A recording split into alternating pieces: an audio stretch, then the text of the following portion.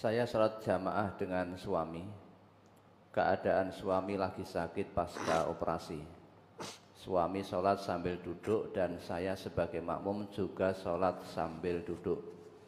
Kata suami, kalau imam duduk, makmum juga duduk. Apakah yang kami lakukan itu sudah benar? Betul.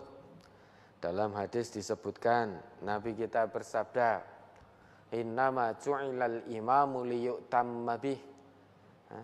Hanya saja imam itu dijadikan untuk diikuti adanya imam itu untuk diikuti. Faida kabbaro fakabbiru kalau imam itu bertakbir maka ikuti dengan bertakbir. Kalau imamnya sudah takbir, tidak usah nunggu apa-apa, sudah ikuti takbir. Wa idza raka'a farka'u. Kalau imam ruko, maka kamu ruko.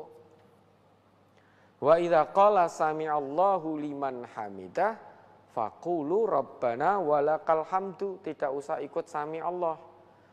Jika imam itu mengucap sami Allahu liman hamidah, maka tidak perlu kita ikut mengucap sami Allah langsung katakan ucapkan Rabbana walakal hamdu. Wa idza sajada fasjudu kalau imam sujud maka makmumnya berkewajiban untuk segera mengikuti imam sujud. Kemudian wa idza shalla jalisan fasallu julusan ajmaun. Jika imam itu sholat dengan duduk maka hendaknya makmum itu makmum solatlah semuanya juga dengan duduk. Wa idza shalla jalisan fasallu julusan ajmaun.